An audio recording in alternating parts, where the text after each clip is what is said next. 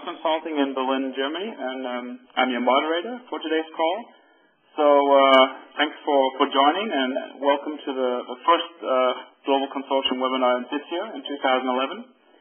Um, just for those of you who are not totally familiar with the Global Consortium for Employee Health, it's really designed as a global thought leadership forum and basically to assist organizations that are looking to improve the health and to enhance performance of their employees worldwide for competitive advantage. Um, so today, our webinar has a, a, a truly global theme. Um, first, as uh, always awaited in anticipation, the findings of the global survey on health promotion and workplace wellness strategies. Um, that's our first agenda item. It'll be presented by Barry Hall from Buck Consultants. Uh, and as usual, lots of interesting results and, and, insights from the from the fourth annual survey. After that, um, another uh, special treat uh, awaits us, as we will hear from, uh, well, basically one of the largest employers in the world, with approximately 420,000 employees, which is Siemens. Uh, well, joining us from Munich, Germany, specifically Dr. Ralf Franke, the corporate medical director, to discuss, uh, introduce their global health management system. Before we start with the speakers, I just wanted to make you aware of one really important global initiative in our field. Um, the World Health Organization is currently um, responding to the need for uh, practical global, regional, and country guidance on integrated and comprehensive um, workplace health um, strategies and programs. And uh, they have published, the, fairly recently, uh, a, a framework and, uh, and a model for healthy workplaces. And it's, it's very comprehensive. It includes four main areas. It's the physical work environment, the psychosocial work environment, you know, personal health resources, and then also the enterprise community involvement. And all of that is, is come, comes together in, in, terms of a continual improvement process, which is at the core of the of the model. Um, so I, I, really think that this has not been uh, pushed or broadcast globally, uh, this type of comprehensive model, which, which I truly believe is, is very important and uh, needed uh, in, in, our field. Um, so the framework already exists, and currently a global guidance document is being, uh, being drafted for uh, basically targeted to employers and employees. So what I wanted to say is your input is welcome. Um, we're actually going to be introducing the document in our next webinar in May. But now is really a good time to, to have the opportunity to influence the, the look and feel of the document, the contents. And so please, you know, contact me if, you, if you're interested as, as I'm actually working on it. Um, you can also find it, uh, or not the document yet, but the, the, framework and the model, you can find it online um, if you search for World Health Organization and Healthy Workplaces. So uh, I, I encourage you to do that. Okay, so uh, now to our uh, uh, featured speakers. I'd like to uh, mention that uh, to hold your questions um, to after the presenters have spoken. Of course, if you have any pressing clarification questions, uh, please type them in, and we'll, we'll pick them up as we see the need for it to do that. Um, so our first speaker is Barry Hall. Barry is, the, is a principal in the clinical health consulting practice of Buck Consultants and leads the global wellness research. And Barry, I'll leave it at that and just uh, take it away, please. All right. Thank you. Thank you, Wolf. And uh, thank you all for um, attending this um, this morning. Looks like we've got a, a large group and a growing group. Um, so I will uh, try and keep the number up there rather than have folks dropping off. Um, so I'm um, uh, Wolf asked me to talk for just about 15 minutes here and give you a high level of some of the trends and uh, findings that we have from our latest survey. Now, I know that um, many of your organizations have uh, participated in this survey uh, this year and in past years, so thank you very much for that. Um, it's we are now in our fourth year of doing this global health promotion survey. Um, it is run by my organization, Buck Consultants, with a lot of assistance from Cigna, especially V-Life, also Wolf, Kirsten, and Pfizer and World at Work are other uh, primary sponsors. Um, and what we are seeking to do is take the pulse of um, workplace health promotion promotion programs around the world. And we've been uh, getting more and more successful at that with each iteration. This year we had 1,248 employers participating, uh, representing over 13 million employees in 47 different countries. Uh, if you participated, you should have received a full uh, survey report, which is about uh, over 60 pages this year. And um, we also have an executive summary available in 10 different languages. You can download that at bucksurveys.com. And we have a number of uh, special reports on different countries. So we try to you know, leverage the data in a variety of different ways to help people understand uh, what's happening. So what I would like to share with you are just some high level, obviously can't go into all the details of the survey, but some of the high level findings and trends, and hopefully perhaps it will stimulate some conversation as well. Um, first, um, just to give you an indication of the breadth of the survey, this is showing um, for those employers that participated, those 1,200 employers that participated, this is where they have employees. So, for example, 34% of the participating employers had employees in Europe, et cetera. You can see we've got a pretty good spread um, around the world. If we look at where health promotion programs are offered, so these numbers are, are by continent a ratio of for those employers that have employees in that region what percentage of them offer some sort of health promotion benefits. Now, health promotion, as I'm sure you know, can um, have a variety of different, you know, interpretations or components, maybe some occupational health components, EAPs, and other things, um, which are perhaps more widespread than some of the more advanced uh, health promotion components.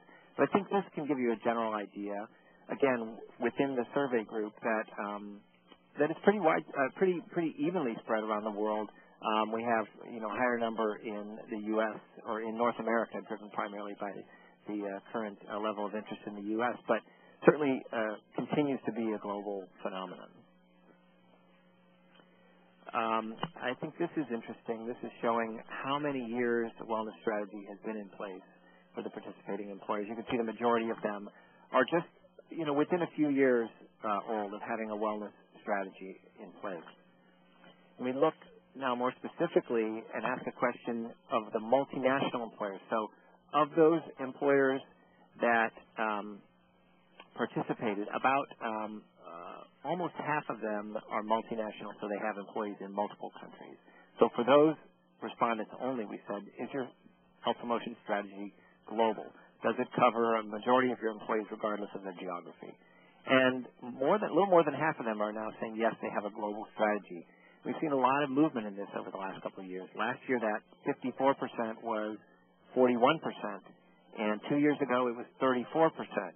So I think that you know it's an area of um, rapid growth, and I think the interest in you know different uh, forums like this one, like the consortium, are, are an indication of the increasing level of interest in how do I globalize my workplace wellness strategy. Um, so we're about, you know, half and half of, uh, at this point of those uh, employers surveyed. So for those who said, no, we don't have a global wellness strategy, um, these are the primary reasons. Um, and, uh, you know, these probably all look pretty familiar to the folks that are on the call that are, that are dealing with this area. There are certainly a lot of challenges in different cultures and regulations. Um, some organizations don't have kind of a global function that, that health promotion might fit into cleanly. Um, I think what's interesting and perhaps encouraging here is way down at the bottom, not a priority in our organization. Very few of those who don't have a health uh, global strategy cited that as the reason. So the majority of those who don't have a strategy are not saying that it's not a priority. They're just saying that perhaps there are some other impediments to them uh, putting it in place related to, you know, resources, or available vendors or tools, um, et cetera. So I think I think that's an indication that we're going to continue to see growth uh, in this area. Um, this next chart is always um, an interesting one to look at each year. Um, this shows um, the prioritization uh, by region of what employers said are the primary drivers, of the reasons that they uh, invest in a wellness and health promotion strategy. And it's always, you know, the U.S. is always a bit of an outlier. The number one reason in the U.S., as you can see there, is healthcare costs. That's not a primary driver anywhere else in the world. Um, the key driver um, and these are this order on this slide is on av- the average globally. So the top one, pr- productivity and presenteeism, is the top uh, reason on average globally. Um, and, and that's not a surprise. That's uh, you know that's uh, the emerging studies continue to show that there's a pretty significant um, cost benefit um, to wellness and impact on presenteeism. Absence is now number three. It's uh, in the past years it's been number two, right behind presenteeism. Um, but this year, um, improving morale and employee engagement has moved up to the number two slot globally. And you can see if you look across the row, it's a pretty solid number two there uh, as well. Uh, pretty important in all regions. Um, I suspect that's in part because of the recovering from the uh, global recession. Employers are concerned about perhaps about losing employee engagement because of you know all the you know unfortunate things they've had to do with perhaps layoffs and, other things. So uh, this could be reflecting uh, a pain point uh, for employers if they're concerned about engagement. And obviously, you know, sponsoring a health promotion program is not going to remedy that in total, but it's one of the tools that they may be using to help um, reinforce to their employees that they're a better place to work. And you can see on down the list safety and, and workability and other um, issues, attracting and retaining employees, et cetera, are also up there. And there's some, some variance by region. Um, so that's that shows why employers are investing in health promotion. Uh, the next question is what are the programs that they're investing in, or what are the health issues or health risks that are driving their strategy? Uh, and this one is uh, pretty similar to what we saw last year. Stress is almost universally the top issue globally, except really in the U.S., where it's number six in priority. Last year it was number five. if anything, it's uh, it's dropped a bit.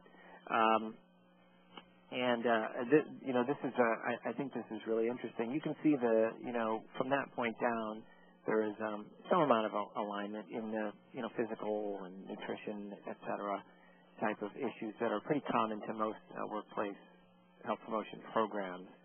Um, I think it's also interesting to see, you know, as we're looking at the U.S. as an outlier in the work-life area, again, uh, perhaps the Americas, U.S. and Latin America, have that, you know, at 10 or below, whereas in the rest of the world it's in the top four. Um, and, um, you know, it'd be, it'd be interesting. We could probably have an entire session just kind of discussing these particular issues. Um, and I'm not sure that it's saying um, that work life and stress issues are not important to employers in the Americas, but it may in part be indicating that they, to the extent they're, they're addressing them, they're not really considering a part of their workplace wellness programs, uh, which could be uh, could be part of the part of the issue there. Whereas in, in the rest of the world, they're solidly, you know, a, key focus. We also see um, a lot of interest in psychosocial uh, programs to improve the psychosocial work environment as one of the um, rapidly growing areas in most parts of the world uh, in the in the survey as well. Employers indicating they're trying to uh, focus on that, which makes a lot of sense as they're as they're uh, trying to address stress. Um, let me show you a, couple other results quickly. Um, incentive awards are always very interesting. You can see here in the U.S. right now, um, if we look at the first segment of the bar, the dark blue, shows how many offer incentive awards today, and the next segment shows how many plan to offer it. In the U.S., we're almost reaching a point where almost every employer um, would have some sort of incentive reward. And, and again, incentive rewards can you know mean different things in different parts of the world.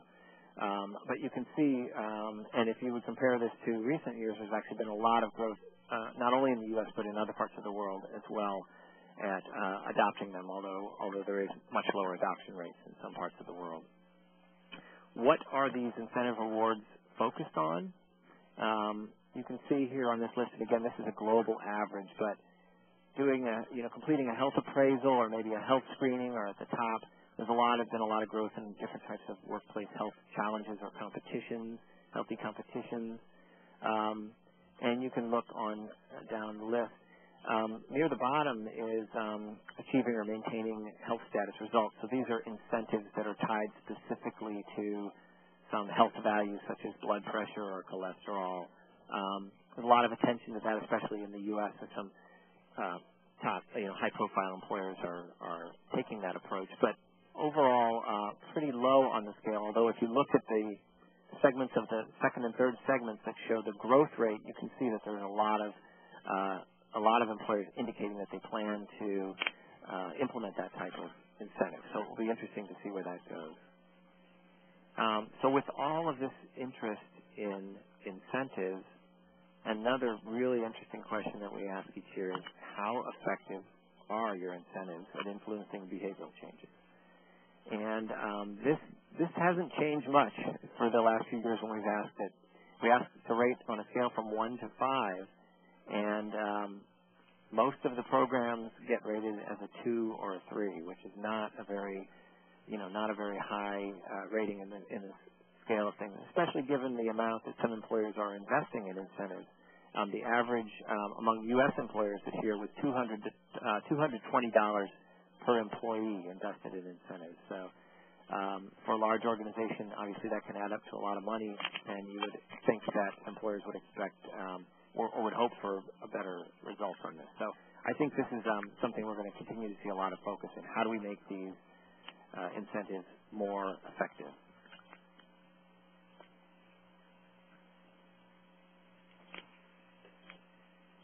Right. The last thing I'd like to um, talk about briefly is measurement. Um, you can see here that um, almost two-thirds of employers said that they're not measuring outcomes from their health promotion program. Last year we asked the question, are you measuring any financial outcomes? And we had a very low take-up rate, and we thought, well, maybe it's that word financial that people are getting hung up on um, because you might be measuring, you know, health improvements in health status or you know, participation or, things that people might not consider to be financial. We took that word out this year. We still got a pretty low rate, and it's, somewhat um, surprising um, that such a small percentage of employers are saying that they're measuring any specific outcome from their health promotion programs. So I think, um, again, this is an area that uh, I, I believe really is going to need to increase.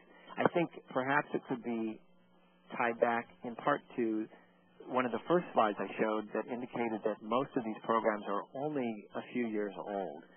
Um, and um, there may be some element of employers um, feeling that um, you know they have some initial momentum in releasing the programs. They don't perhaps need to measure them yet, um, but I I would have to believe that with the amount of dollars that continue to be invested in these programs, that if they're going to be able to continue the investment, they're going to need to start showing some sort of uh, results or impact. These are the key reasons for those two-thirds of employers that aren't measuring anything. These are the reasons they give that they're not measuring their programs. Um, insufficient resources, always you know a key key challenge. Um, they don't know how to measure the programs, or they don't have priority from leadership. Um, again, the bottom two I think are, are somewhat encouraging. Most of these employers are not saying that they don't believe there's a measurable return, or they don't believe the cost of measuring it is justified. So again, I think that points back to what I was saying that um, I think there's a belief that the programs will work or perhaps are working. Some of them may be kind of uh, coasting for the few, first few years um, with the belief that they are working, but I, I really think we're going to need to see a pretty uh, strong movement toward being able to actually demonstrate that the programs are effective. Uh, in order to in order to have these programs continue. Uh, the last thing I'll mention here is the concept of a culture of health. We ask a question about it. We ask two questions. We ask, um, do you have a, culture of health today, and do you plan to pursue one for the future? Um, and it's interesting that you know culture of health as a you know kind of a term has really uh, also grown just in the last few years. It's something that a lot of people identify with. We have uh, write-in responses in our um, you know free test text that people can enter, and I can't tell you how many uh, folks use that terminology of culture of health or culture of health and wellness. Um, so it's something that really seems to be catching on globally. Um, but what we see here is that if we look at just those who rate it as a four or a five out of five, uh, only about one third say they have a culture of health today in their organization, uh, but 81% say they plan to pursue it for the future. So again, I think this is an indicator of a very strong trend uh, of employers uh, and, and a focus on you know understanding that it's a that it's a cultural issue. It's not just a financial issue. Uh, it's not just a uh, you know mechanical issue in terms of offering programs, but there are there are real uh, cultural implications as well. Um, so that is that that is a, what I had prepared to speak about today, and be glad to answer questions. I think Wolf, we want to hold the questions till the end. Is that correct? Yeah, let, us take. Uh, I wanted to do that, but I'm changing my mind. Let's let's take one question now and do the the, the rest afterwards um, because I thought it was pretty interesting and it always comes up. Um, uh, and that came from from Muna from from Mary Kay. Uh, Barry, uh, so can you can you unmute her? Is that possible? Yep, I can definitely uh, unmute her. Give me one moment. Okay, Muna. Yes. You can. Uh, you have been unmuted, so you can actually um, say your question directly to Barry if you'd like. Okay. Um, Barry, I was just wondering what methods are being used to measure productivity and presenteeism. Uh, excellent question, and, and I'm sure uh, uh, Wolf can chime in too because this is an area of expertise of his as well. Um, there are a handful of uh, kind of standardized um, measures out there that are, uh, majority of them are self-reported. Um, so they're and they're often embedded into a health risk appraisal. Um, there's the um, I don't know that I can rattle them all off, but there's the work limitations questionnaire developed by Deborah Lerner at Tufts, and there's the uh, there's one there's a Ron Kessler one from uh, from Harvard. There's a Stanford presenteeism scale. There are a handful of them that have been academically developed um, and and validated so they they have you know they, have pretty good confidence. I, I know that a lot of times the first impression is well, why would you trust you know employees to self-report? Because basically you're asking them you know over the past, and a typical question might be over the past two weeks, um, you know how many days or how many hours did you feel you were not as productive as you could have been because of health issues? Um, but and it seems like something that perhaps people would not be honest about but the uh, you know the research and the data uh, shows otherwise. And and I can tell you from personal experience, having used it for several uh, several uh, projects with some of my clients I worked on, the numbers can be pretty astounding, even if you feel that they're perhaps understated. Um, you know, presenteeism is a is a very real issue.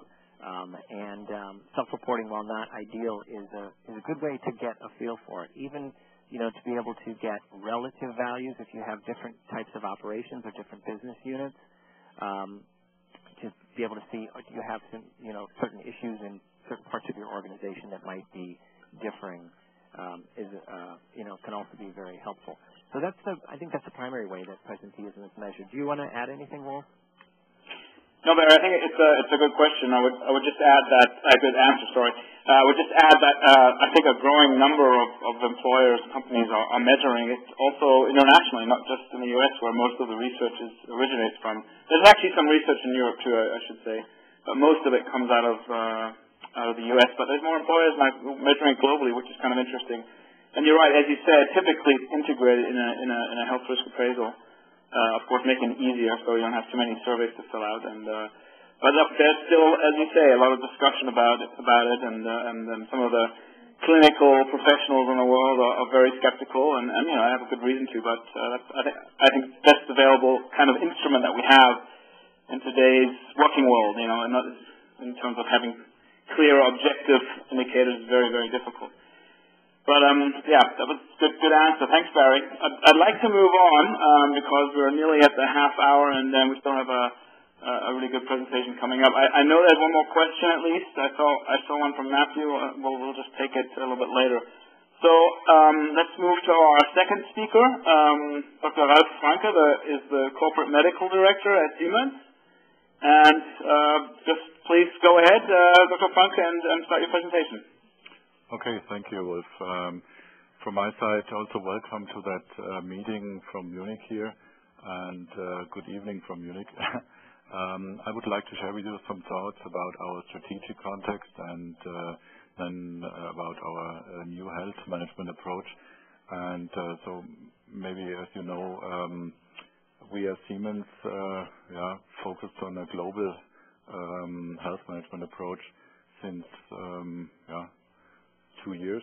and I work for Siemens since two years, and I'm also heading the uh, EH&S department here in Siemens, uh, environmental protection, health management, and safety. And uh, the first task was to define and develop a global health management and EH&S organization. And the second one was then to define a strategy and a global concept, especially for health management, because it was not existing since those days. Um, yeah, the strategic context is um, coming from our corporate strategy and the mega trends as um, you know, maybe globalization, urbanization, demographic change, and those topics, and our corporate values.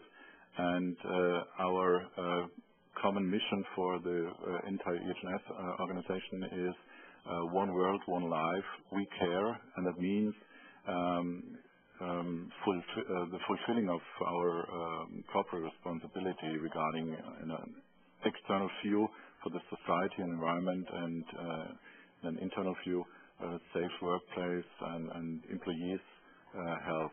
And um, here you can see our three main pillars of my organization. So the environmental part, the safety part on the right side, and health management. And uh, here you can see um, the health promotion unit, um, dealing with health programs and services, education, consulting, and those things.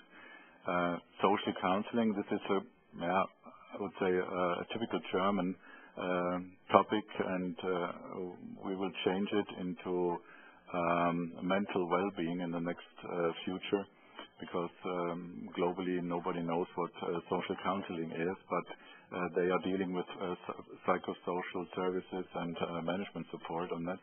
And then we have the medical services in the traditional approach of identification and minimization of occupational risk and medical support.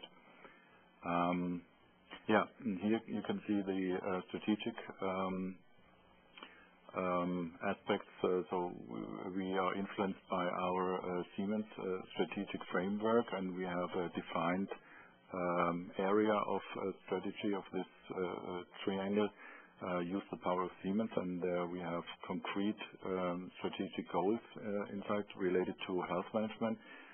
Also, we are part of the conduct um, of the business conduct guidelines, and we are also working together with our colleagues from sustainability in that area of social dimension. And there we defined, uh, influenced by those uh, three dimensions, the corporate health management policy and our system. Um,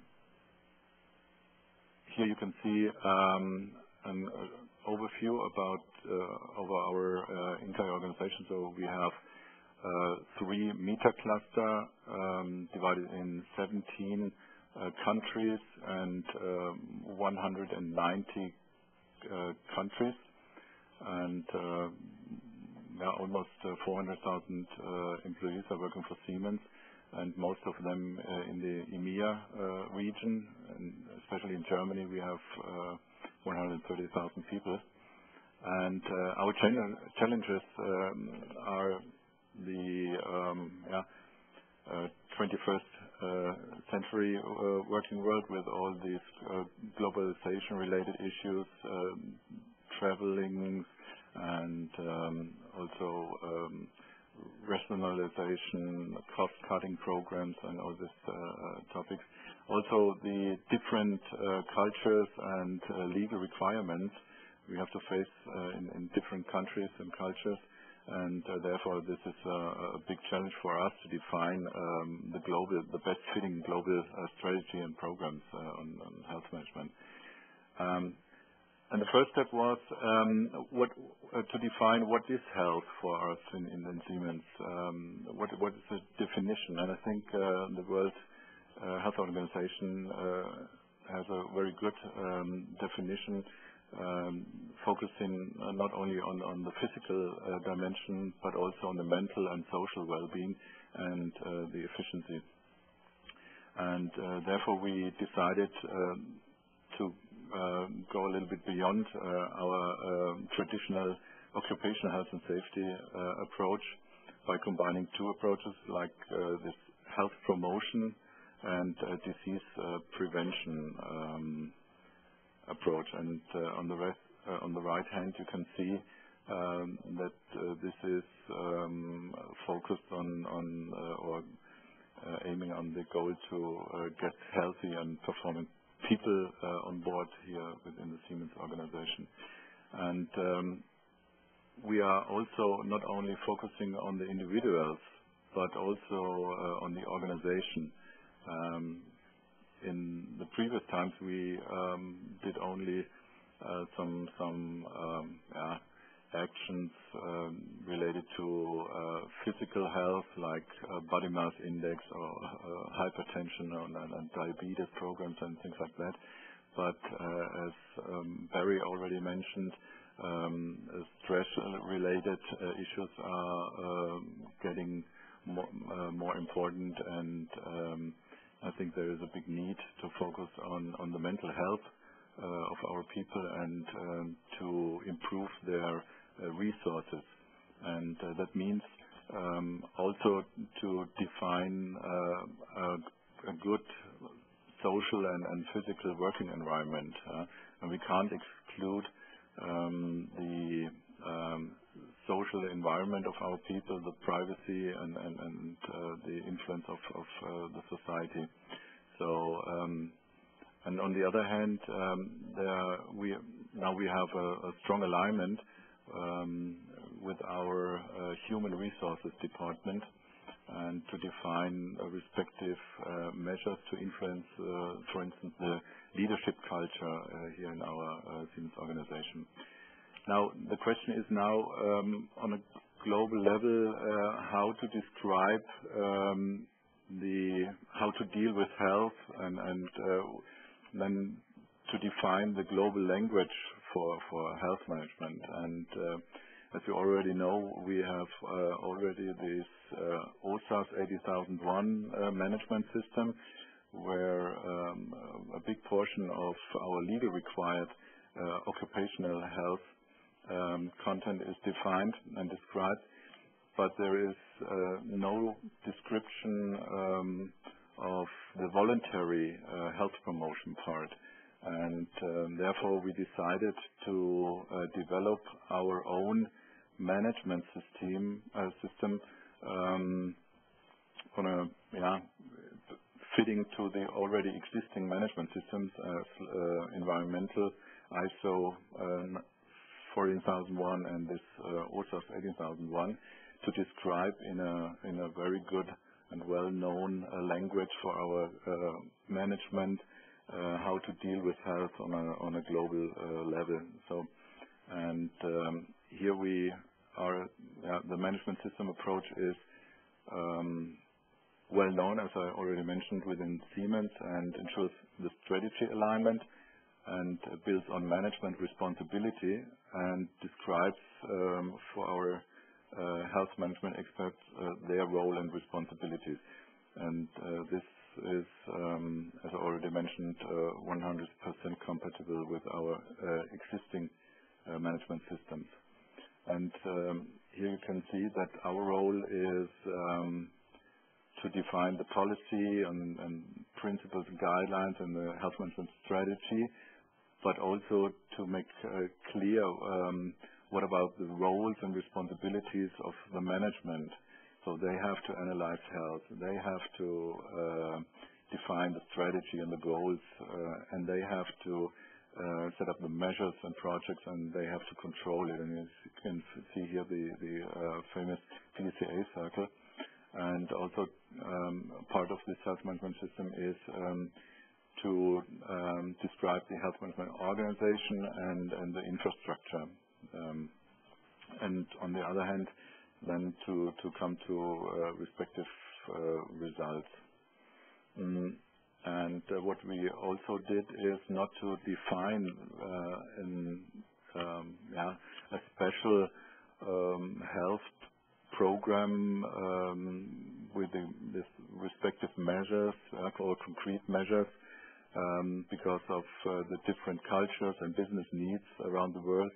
Um, we decided to define a global uh, framework, and uh, this is mandatory. We adapted this on the uh, value chain. So to say, analyze health, recognize health, experience health, and live health in a sustainable way.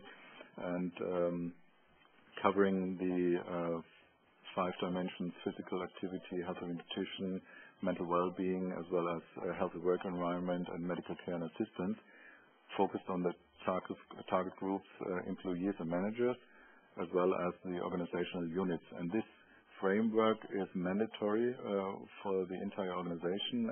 Uh, and now it's up to the respective um, managers in every unit and every country then to define the exactly um, local measures um in this according to this framework. And um yeah, for the first step was to, because it's uh, it's very new, this global approach for Siemens, to get an idea um about the current status. And then we conducted a survey in our organization to um yeah see what what um how many people we have on board, what kind of measures they do. And we can see that the uh, level of maturity on health promotion and health management is uh, very good in Germany and in India. Uh, surprise, surprise. And um, yeah, in Scandinavian countries. And There is a lot to do in countries like um, Taiwan, Philippines, Thailand, and Algeria. And um, to get also a kind of benchmark, Um, we conducted uh, a survey together with uh, SOS International in uh, 79 countries. Um and these countries were chosen by the relevance for Siemens. And uh there we um, yeah, asked some some questions around um yeah what what is the benchmark of um, Uh, first-in-class companies and programs uh, around um, health management. Also, uh, the identification of occupational health provisions that are considered the norm and expected by the majority of employees to get a kind of input um, to discussion on how to calibrate um, health services across international best practice and local industry standards, meeting regulatory requirements, as well as identifying opportunities for the first-in-class health activities. And um, then to identify um, health promotion and wellness programs that are considered the norm and expected by the majority of employees to have an input uh, to discussions on how the best set health promotion portfolio, as well as um, getting an idea about uh, what is considered as the industry standard and also the um, legal required standard of occupational health and safety, including health management. And You can see here an overview um, about the top five most regulated countries. And um, also on the bottom, uh, five least uh, regulated countries. And In some countries, not all regulations are implemented as an industry standard, for instance, in Moldova. And uh, some countries have a large difference between regulatory requirements and industry standards for multinationals.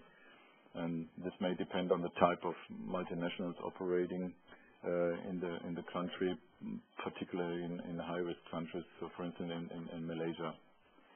Um, Here um, you can see an overview um, of uh, the uh, regulatory requirements and industry standards um, in our clusters. Uh, here we have our 17 clusters, Middle East, USA, Canada, and so on. And um the industry standards in general are higher than the regulatory requirements. We found also that many clusters have a wide range. For instance, regulatory requirements for countries in the Asian cluster range from 21 to 75 percent and um, the conclusions um, for single countries have to be done on a basis of uh, single country reports. And um, yeah, we did it in a, second step. And here in, a, deeper dive, we had uh, six broad areas covered by this uh, research project. So we have uh, contractors, health promotion, return to work, medical services, and risk assessment and health screening. And in, the risk assessment and health screening um, activities, um, they remain at the core of the minimal regulatory requirement in almost all of the reviewed countries. 100% of uh, the countries have regulations in this area with an equally high presence of industry standards and practices and uh, periodical health screening and pre-employment activities are uh, subject to regulatory requirements in 100% and uh, 75 of percent of countries respectively. Pre-travel, and pre-assignment health screens offer the opportunity for us to be um, first in class. So we decided to set up in our EHS program a Siemens Traveler Health um, check program on a global level. So That means um, we uh, offer checkups for our business travelers in total. Yeah, and If you see here the uh, health promotion uh, columns, the number of countries with health promotion regulations is significantly less than for the other OH areas.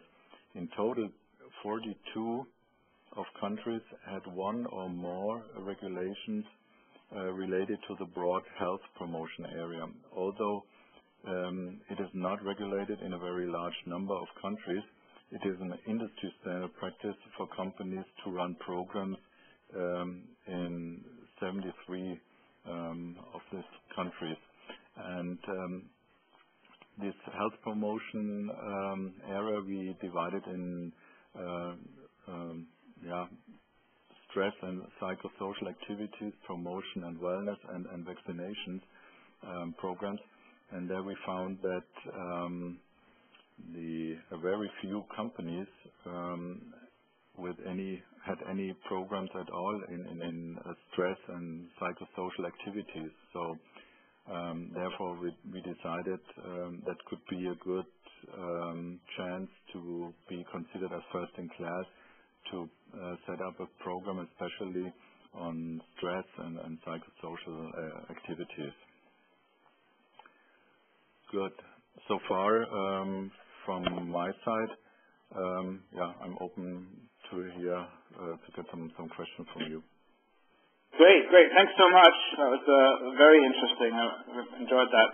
Um, okay, so uh, for questions, basically you can type in your question, or if you prefer to, I know we can't unmute everybody, but to, raise it verbally, you can just put a Q in the console, so we get that notice um, that you want to ask a question. So I don't see any additional ones. I still have Matthew's question at this point, and this was uh, for Barry. So why don't we take that one now? And um, let me just read it for now. It's uh, Barry. Can you say a word or two about penalties versus incentives? Sure. That's sort of the carrot versus the stick approach. Um, and uh, we did we did look at that in the in the survey. Um, we started making that distinction a couple of years ago as we started to see more employers talking about penalties um, but I can tell you that it's still very, very low, um, the usage of penalties versus uh, rewards uh, in, in terms of health promotion incentives. And some of them are, there's really kind of a gray line. I mean, one of the most popular things that employers would identify as a penalty would be, uh, primarily in the U.S., uh, an increase in health insurance premiums for those employees who choose, you know, not to participate in a program or a health screening. And, you know, on the flip side, you could give a discount for those employees who do participate. So in reality, it's it's uh, it's a premium differential for those who participate versus don't, and how you describe it or communicate it is really what makes it a perceived as a penalty or a uh, a reward. Um, but I, I don't want to underestimate the the importance of how it is communicated because I think that can kind of set the tone for the program as well. I suspect that uh, many employers shy away from using penalties because uh, they don't, uh, you know, they want to have a more positive uh, tone to their to their programs overall, and they feel that, um, you know, communicating uh, in the manner of a, a penalty might uh, might kind of backfire with the program. Now, having said that, there are, are other employers who are perhaps reaching a point of um, you know, greater frustration that they're that they are not getting the participation levels they would like to get to their program. So maybe they're turning the screws a little bit more and saying, let's let's make this this feel a little bit more mandatory. The reality is, in most uh, parts of the world, the programs are voluntary. So if you want to get participation, you've got to use something, you know, in the line of an, an incentive. Um, so it'll be interesting to see um, see where that goes in terms of uh, uh, whether more employers want to adopt uh, penalties or not. But for right now, not. We don't see many. Great. Thanks, Barry. I have uh, I see two more uh, interesting questions here. I think these are for for for Ralph. Uh, to uh, unmute them, Wolf. It might be better interaction if we unmute them. Okay, sure. Just, yeah. just some sense of time. But go ahead. How about we go with Charles first? He, he raised it first. Charles Elliott. Charles Elliott. Ah, looks like uh, I can't identify him actually on on the, the audio. Okay. Why don't I just read that one, then, then maybe after we'll take Susan's. Um, the question is, I'm not sure if you can see it, uh, Ralph, but it's, uh, how do you get separate industry standards for occupational health requirements of workers around the world? I cannot find a source. One how do you get separate industry standards for occupational health requirements of workers around the world?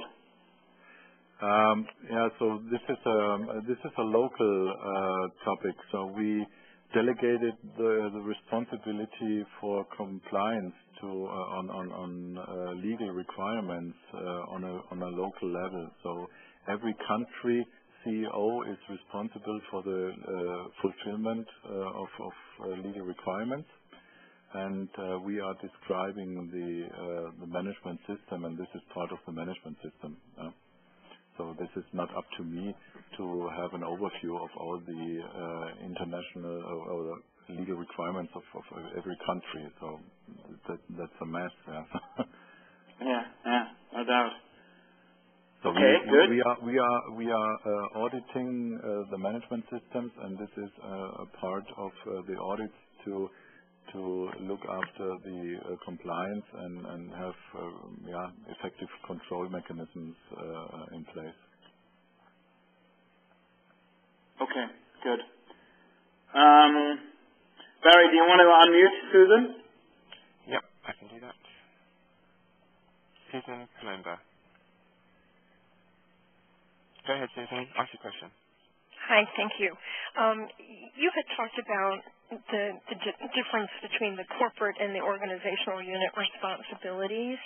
Um, so it, it sounds as though you have rolled out the organizational unit's expectations around health promotion. But my question is, is there then an expectation that countries report their health promotion activities or achievements back to a corporate level? And, and if so, what's your process for that? Mm-hmm. Uh, this is part of our health management system. We uh, want to run out, uh, roll out in the next two or three years because it will last, I think, two or three years um, at least. And The expectation is on the first step to report only the um, amount of measures and not really the outcome because um, it's a um, yeah a big issue to have global um, KPIs on on to measure the uh, respective outcome of uh, health promotion activities. So the first step is this is the other part uh, to answer the question how healthy is Siemens. We developed with our global engagement survey as part of our global um, engagement survey, uh, which is um, annually conducted, um, a kind of health index. So we asked one uh, special health-related question, and then we uh, added um, five um, other questions which gave us a kind of information of um, health in our understanding. And there we uh, are calculating so-called health index out of those um, questions. And um, we we don't have any global um, KPI at the moment. Okay. I guess uh, that answers your question, Susan. I think we may have time. Okay, Barry, what, what, question do we have? Uh, I think there's one more. We have time for one more. Yeah, sure. Um, well, we've got two more lined up, one from Ruth and one from, if we take the one from Paul Ashcroft as well. So, Ruth, uh, go ahead and ask a question. Hi there, yeah, it's Ruth uh, from vielife. Um, question for Ralph. Um, just really wanted to understand uh, where you see the main gaps uh, are for you and the challenges that you face uh, with your global strategy. Yeah, first of all, the the awareness for um, health promotion at all. So um, we are facing um, a lot of yeah let's say, ignorance uh, about those topics because um, our management, in especially in lower developed countries, is not really interested in, uh, investing in, the health of the people. So especially in countries in Africa or India or China, and um, there is a lot of work to do uh, to have another uh, or to implement another culture, another leadership culture, another um, mm, self-understanding of how to deal with our people on a global level. And uh, Therefore, we started um, our program. and One really big um, lever is uh, that we are now a part of our uh, executive development programs. So to um, um, teach our management uh, what is our expectation on healthy leadership. On the other hand, we have now a zero harm culture project running from the top management down to every site, um, dealing with the safety culture, and it goes in, the same direction. Uh, and, uh, my hope is uh, that we will have um, on a global level um, another health and safety culture uh, within the entire Siemens organization. But at the moment, uh, we face a lot of issues uh, in the acceptance and awareness, especially in, in, in lower developed countries. Excellent. Yeah, I think that's a, a common challenge for many multinational employers, no doubt. Let's take one more. I think we're very close here, but uh, uh, Paul's question was, have you considered providers or vendors as part of your global strategy? And do you have any cross-border providers? Yes. Uh, currently, we are looking for those providers because we are uh, now in the phase of a global rollout, and uh, we need some uh, uh, good partners on that. Great. That's good. Very good. Okay. Um, Barry, uh, I guess we have three more minutes, or should I close it, or do you have any more questions lined up? We've got a few questions uh, that have been specifically uh, to the host, so I directly to me. Um, we've got one to Dr. Frank, who uh, says from Don Fisher, uh, can you give examples of measures of organizational health and how that uh, measure differs by country? How? Once again, I can't get you. It says, um, can you give examples of measures of organizational health and how that measure differs by country? Organizational health? Yes. Okay. Um, this is uh, this is our yeah this employee engagement survey. there we measure the engagement of our people every year and that gives us also um, an, uh, yeah, an idea about uh, the health of our organization. And there we can exactly describe our um, describe the the um, health status um, of, respective organizational units. And on the other hand, uh, we have uh, where we have medical services, that we get uh, internal data um, of the um, health of our people. So medical data like blood pressure, back pain, and complaints and all these things. And uh, there we can um, define, tell the respective management what what issues they have in their respective organizational unit related to the physical health status and, and uh, mental health status. But this is not on a global scale,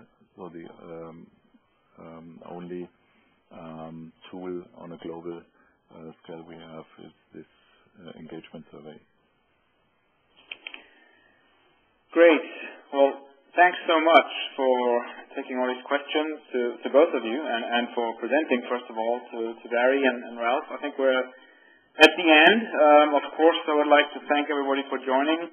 Uh, I know we had a couple of uh, issues or problems for some people to dial in. I apologize for that. I'm not sure what the reason is at this point, but um, we will have the uh, recording so of this session, you know, including the, the slides, available in about a week or so. So that, that will come with a follow-up email and the link. So if you missed the first, you know, quarter or third of a session or something like that, we will uh, you can uh, you know log back in and get it. Uh, so that would be yes. I hope that will work out for you. And as always, please provide us with your feedback. also for future sessions, topics, regions. That's always very very useful. And as I indicated earlier, our next webinar will be May. We'll uh, finalize a date pretty soon, and we'll take a special look also at uh, our corporate social responsibility links to health and well-being. So that's uh, that's in our uh, in our plans, and I hope you can join us again. And I wish you uh, a nice sunny spring, or, or maybe in fall if you're in the southern hemisphere. So all the best, and uh, have a good rest of your week. Thanks a lot again. Goodbye.